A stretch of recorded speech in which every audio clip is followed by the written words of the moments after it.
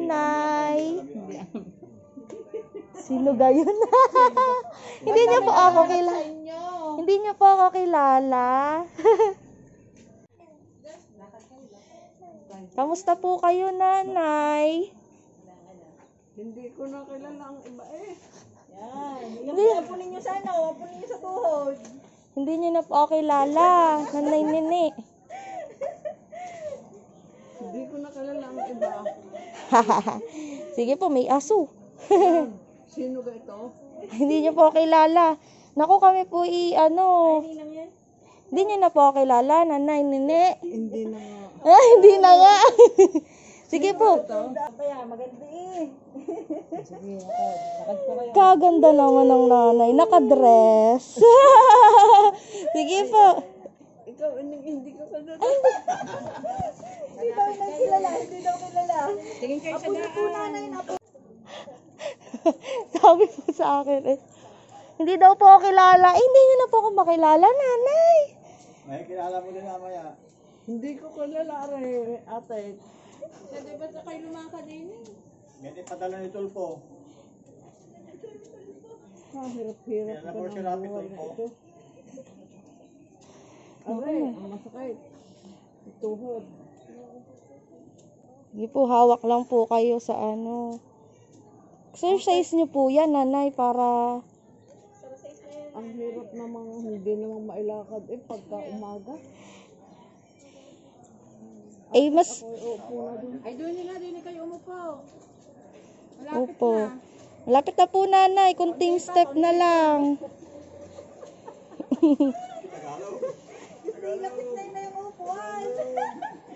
Malayo pa sa upuan.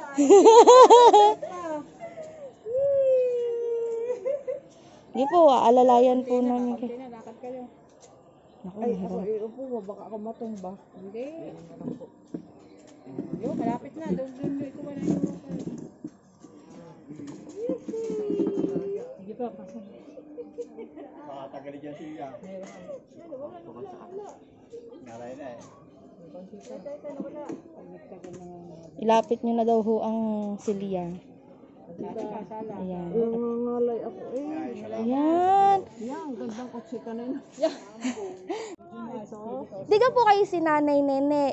Dris. O ano pong tunay nyo pong pangalan? Nasifan niya. O, tama po. Hindi yan sinipan niya. Meron lang po kaming delivery po sa inyo, sa sasakyan. Papakita lang po namin sa inyo. Okay lang po. Titigan nyo lang po itong plate number. Ano pa? Yan. Bilang po kayo. 3, 2, 1. Open po natin. Happy, happy birthday po, nanay! Hilahin ko po ang munting sorpresa po sa inyo.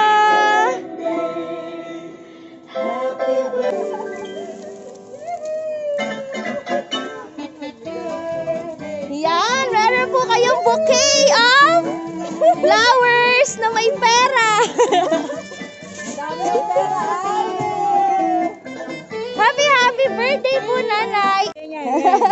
Hello po. Ayan, babasahin ko lang po yung mga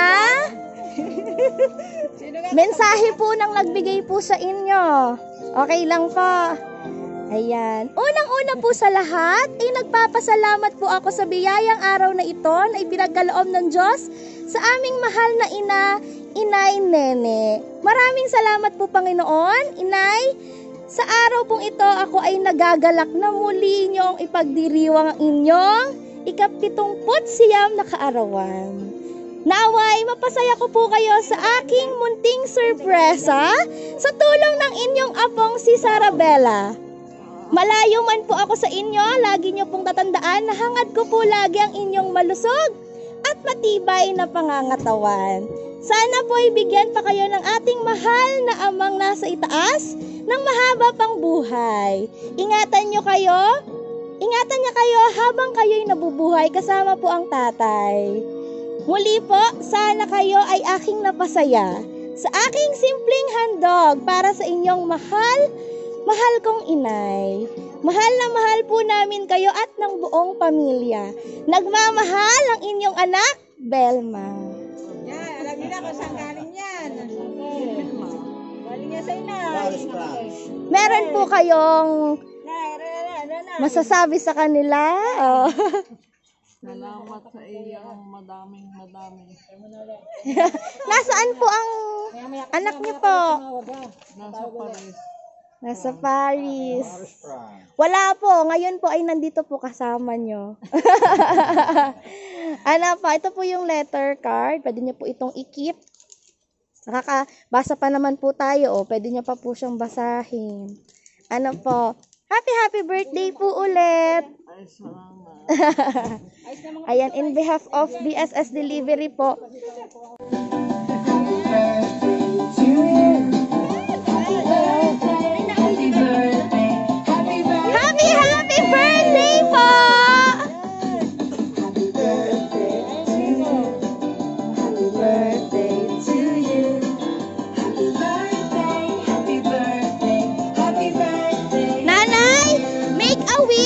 Tapos dadalin po namin ang wish po kayo nanay. Narinig po kayo nanay. Ayan. Wish po and blow your candle po. Yes. Happy happy birthday